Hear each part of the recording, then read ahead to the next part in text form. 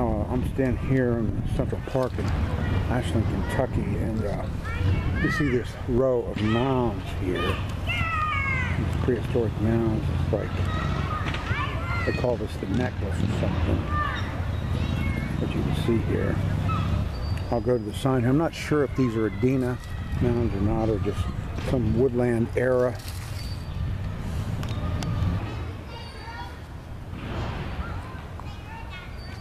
See the area they're in. Like I said, it's a park here. I'm going to walk past them so you can get an idea here. They're about uh, probably about five five and a half feet high or so.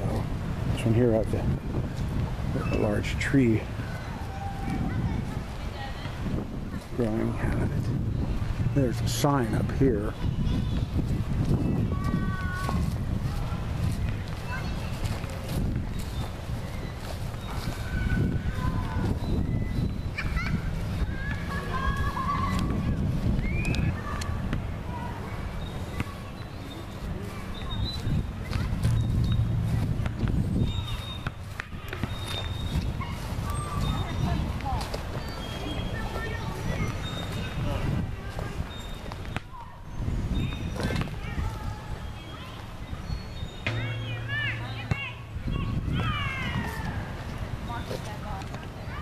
Okay, sign here says one and one half miles northeast in Central Park is an irregular row of, of mounds, part of a chain built by prehistoric men who were the forerunners of American Indians. Many of the remains of that ancient people, which once dotted this area, were leveled as the town expanded. Some of these were burial mounds, others contained artifacts such as arrowheads, stone utensils. So they weren't all burial mounds, some were uh, ceremonial. And even ones that they're saying now were burial mounds where they found human remains, they're not real sure if they were specifically for burial or for some other type of ceremony.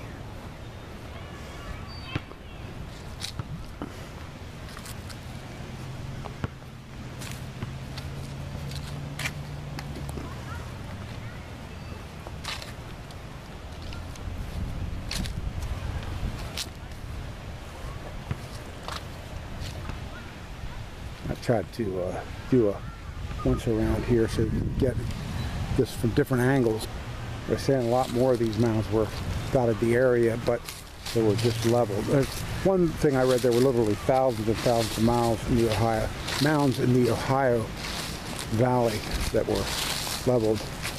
These are just a few that are still left over.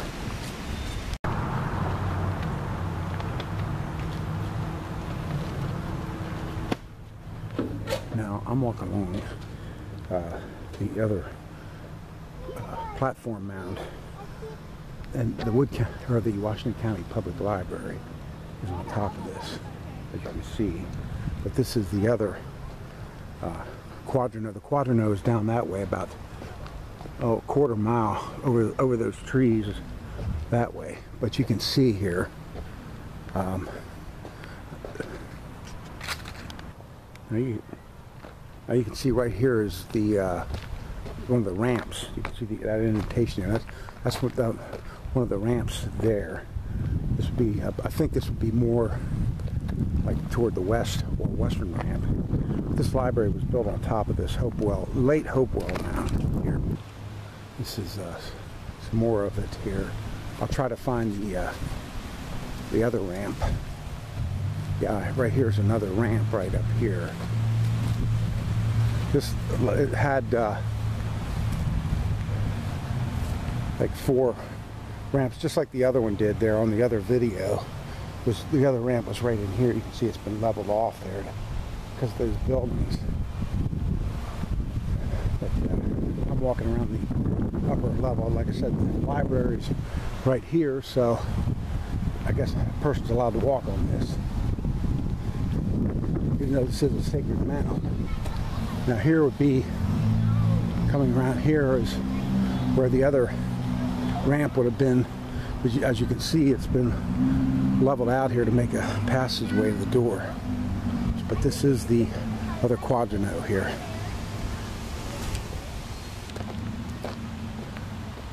I'm just walking around We'll do a complete 360 around here. There's the Washington County Public Library there. As you can see.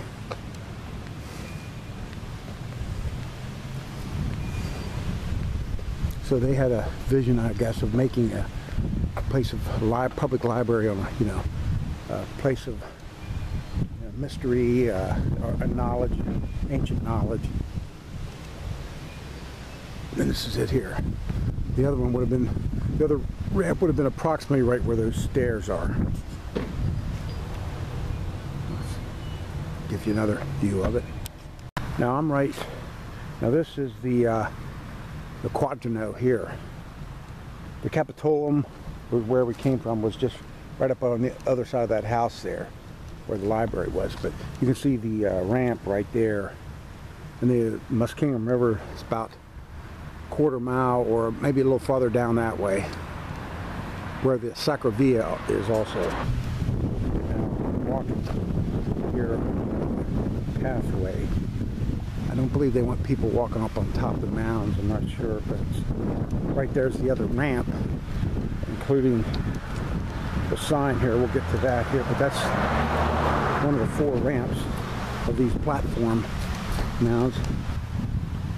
Okay, and there's a sign for the quadrant. the other one was called the Capitolium, but it's almost identical to this this one here. These are late Hopewell, like I said, nine 900 AD or maybe a little earlier. Like I said, they didn't, to my knowledge, they didn't find burials or uh, any temples on top of these. They, they, they were ceremonial platform mounds, some type. They found uh, some arrowheads, things like that, artifacts. But uh, these were not like burial mounds or anything. They're more ceremonial type things. But no structures were on them. Now I'm walking across here at the mound. This is the ramp on the other side. Like, I believe these were oriented north, south, east, west. This would be, I believe, the western side. Here, first side would have been the northern. Now I'm going to proceed to the southern ramp. Now this is the southern ramp here. Sacra Via right down in there.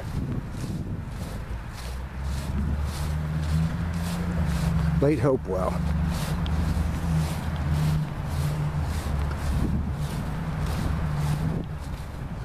You can see the uh, this platform mound. This is sort of the you know a newer type addition onto this culture. Uh, what these are basically is they're, they're just different cultures that came together you know, shared their ideas and their ceremonies, uh, etc. Because actually, the Hopewell culture is the meeting of so many other different Indian cultures that it's actually hard to even use a word to describe it other than it's a woodlands culture. Now this is the, the ramp I came in on, so you can see. It's approximately, say about maybe seven and a half feet tall, and probably it was taller when it was made. And you know, they settled over the years. That's the last of the ramps there. That's where the Capitolium is, the uh, where the Marietta Public Library is a diorama here the museum. You see there was a mound there. You can see the, the walls. Uh, bend out here. Now there's the other, right there, the quadrant there. See how that was arranged? But a mound out here, right, and then there's the second view which goes to the Muskingum River right there. And then this also, uh, as you look down here in the winter, if you stood right there, look in the winter, uh, up above the ridge there, which was also side of Muskingum, you can see where the sun set for the winter solstice. Then next to the uh, this ceremonial inclusion there this which has the uh, Conus mound right there. A little Dina mound that was incorporated into these Hopewell works. You see the walls there. This is now a cemetery. Uh, this is settlers but it's the type artifacts that are found in these mounds a lot of times, ceremonial objects. That back there is a, a canine, bear or wolf canine, I'm not sure, but like objects. And these type celts here, often found in these type pipe here, animal effigy pipes, associated probably with some type of clans. Flint. I don't know if that's Flint Ridge Flint or not. It sort of looks like it. Some of the other type objects found. Those uh, there are some pipes that they used uh, for healing, possibly. Uh, blow smoke there through there into the into the uh, was like medicinal smoke supposed to be, which could or heal, but probably a lot of times didn't. Okay, more objects here. Just showing you the type of things here that were found in these mound complexes.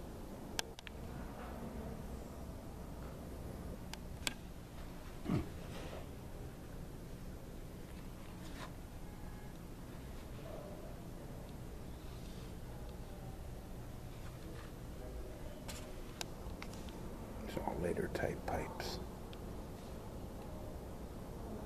I don't believe these were found in the mounds or anything, but these are the type would have. Just kind of show you type Indian that would have inhabited the area in the more historic period here. It's got a trade blanket there. You can tell from the black stripe there. Now here, notice mural here of the uh, builder culture around. You see that that's the Sacrodea there. You see the mound there. And then there's the quadrino right there. That's the one. Then over the other one, Capitolium would be over in that area. There.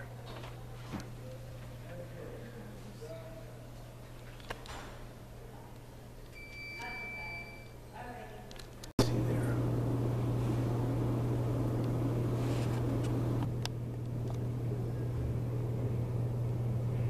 Just give you an idea, more ideas, some of the things they found in uh, some of these mounds around here.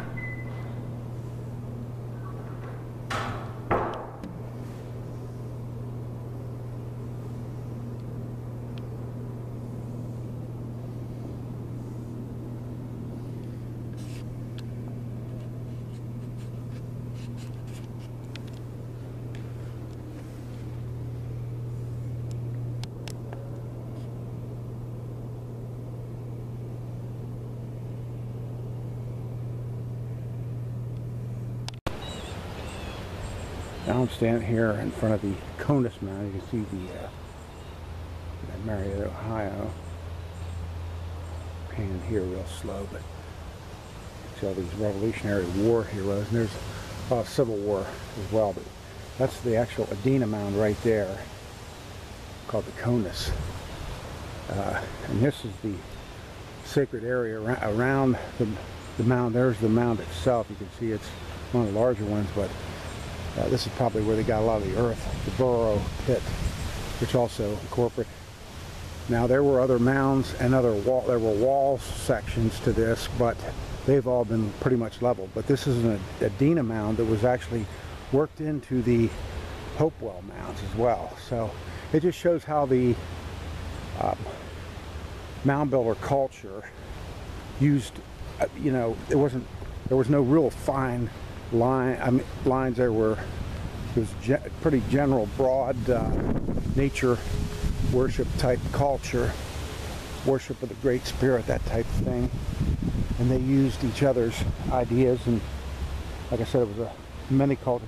But this this mound here is uh, comparison size to, I believe, the uh, Crescent Mound at one time, which was in another video of mine, and uh, the um, actual Adena mound over in Chillicothe because they, they were bigger mounds. They were excavated. Now there was a burial found on top of this mound, but it was that burial occurred like a lot later. This mound was built like most of them built in stages. I don't know if it's ever been completely excavated down to the bottom, but I'm gonna here's the stairs here. I'm gonna walk up to the top.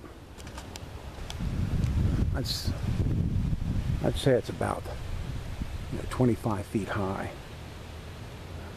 to the top there. There's the burrow pit around. Like I said, there were walls all around and other mounds, but the city of Marietta uh, removed most of them for through progress or whatever. Now I'm up on top here of the mound. You can see out around it.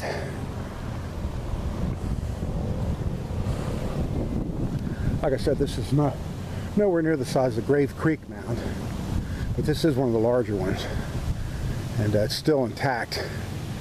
There was a burial found approximately with that time capsule. I don't know how many feet down, but like it was a later burial. But uh, this is actually an Adena. This is one of the first mounds that was built in this area over a period of centuries and centuries.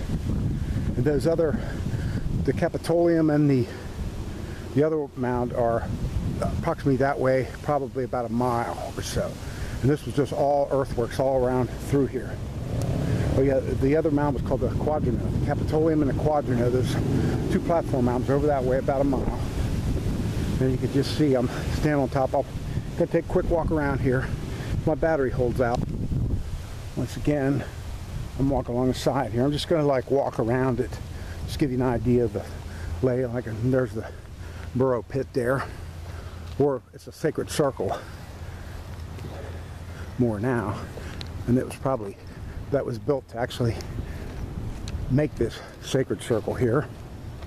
Where they designed these uh, some of them they're not they're all different. All these mounds have different aspects to them like I said this compares in size to the Crescent Mound at one time and the uh, which Crescent Mound is no longer in existence that was that's up towards Moundsville West Virginia and the uh, Adena Mound which is over in Chillicothe that which was on the estate of Thomas Worthington, but that was excavated completely. So you can see here.